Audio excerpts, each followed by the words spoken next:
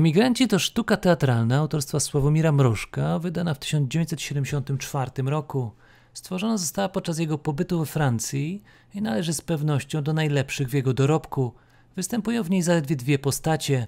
Dwaj emigranci z Polski, mieszkający w jakimś nienazwanym kraju zachodnim, prawdopodobnie we Francji. Widzimy ich w czasie jednego wieczoru, który okazuje się nowym rokiem. Nie posiadają imion, jeden określany jest jako AA, a drugi jako XX. Obaj dzielą ze sobą tanią, pozbawioną okien suterenę. AA jest intelektualistą i emigrantem politycznym, który bez powodzenia próbuje napisać wielkie dzieło. XX to z kolei niewykształcony robotnik, który wyjechał z kraju, by zarobić na dom, by móc wyprowadzić się od teściów. AA jest samotny, a życie spędza leżąc na łóżku, czytając i pisząc. XX wykonuje najgorszą z możliwych pracę fizyczną, a w Polsce czeka na niego żona i dzieci. Rzecz jasna brak imion nie jest tu przypadkowy. Obaj bohaterowie stanowią bowiem archetyp dwóch możliwych rodzajów emigracji.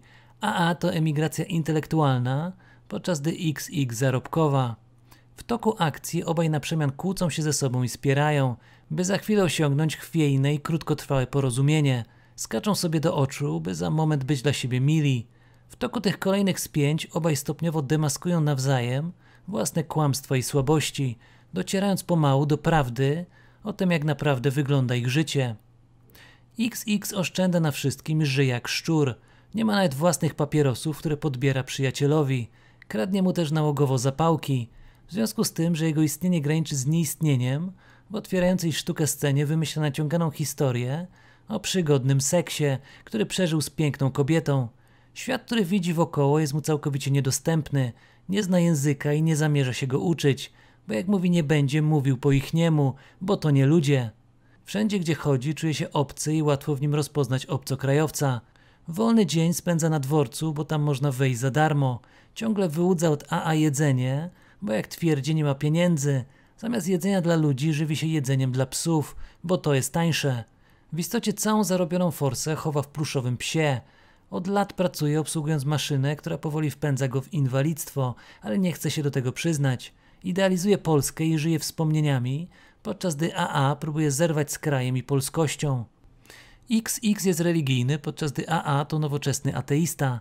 XX by żyć potrzebuje wiary, nadziei, podczas gdy AA jest bardziej skłonny, przynajmniej na pozór, by zaakceptować sytuację, w której się znajdują. Jest szczery do bólu i cyniczny.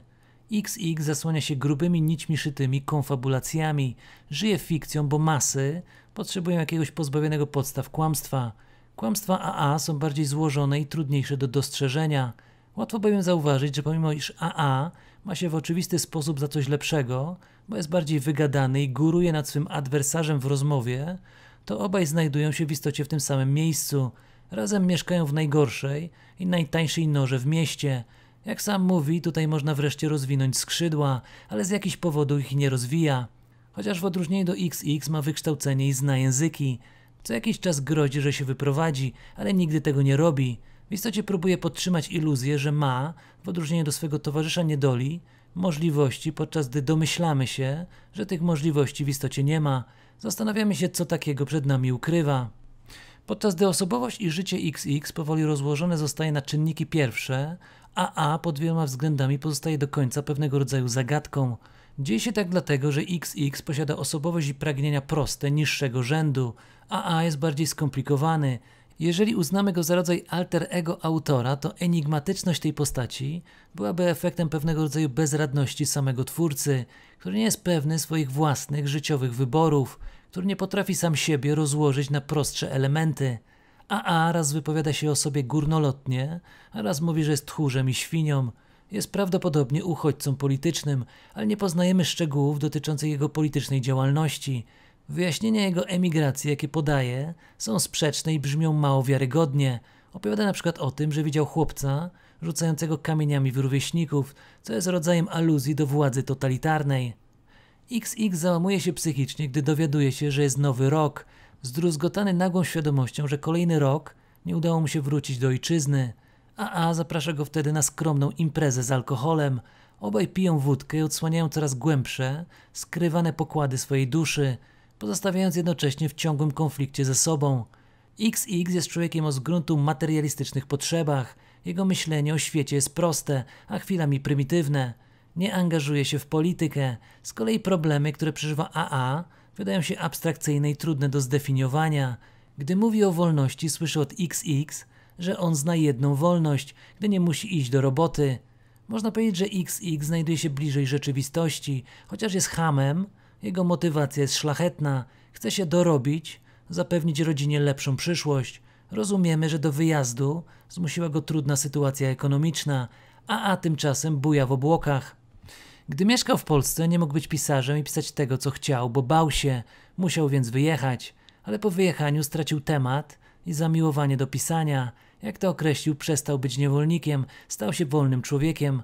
Mieszka więc XX, bo w nim widzi idealnego niewolnika, człowieka zindoktrynowanego przez władzę, bezwolnego, chce go opisać. Ale być może to wszystko jest tylko bajką, oszustwem, podobnym kłamstwem do tego, które na początku sztuki wciskał nam XX, opisując swój pobyt na dworcu, bo to co mówi AA w istocie nie trzyma się kupy.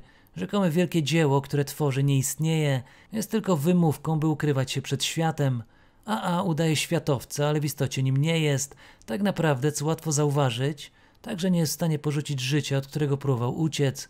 Nie jest człowiekiem wolnym, chociaż mieszka za granicą mentalnie, dalej tkwi w Polsce. I to dlatego woli mieszkać z innym Polakiem i wiecznie kłócić się z nim. Na koniec obaj uświadamiają sobie, że są w sytuacji bez wyjścia. XX nigdy nie wróci do Polski, choć żyje nadzieją na powrót. Za bardzo przywiązał się do idei zarabiania pieniędzy na obczyźnie, do ciłania każdego kolejnego franka. Gdyby wrócił, musiałby wydać forsę, którą kocha najbardziej na świecie. A AA nigdy nie napisze swojej książki, która jest dla niego takim samym mitem jak dla XX powrót do kraju. W porywie szaleństwa XX targa zaoszczędzone z takim trudem pieniądze, a AA niszczy swą książkę, nad którą tak długo pracował i obaj niejako wracają do punktu wyjścia.